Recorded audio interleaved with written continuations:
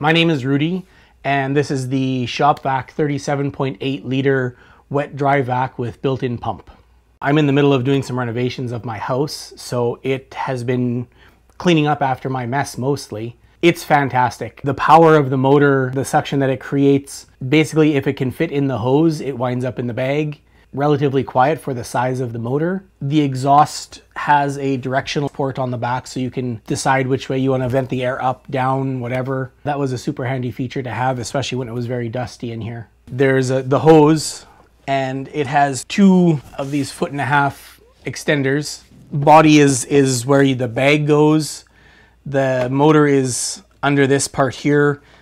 This comes off to change the bag and to uh, change the filter in there, put it together, turn it on. I haven't had the opportunity to test the wet vac part of it, but overall I'm, I'm very impressed with it. This is the kind of vacuum that I would recommend.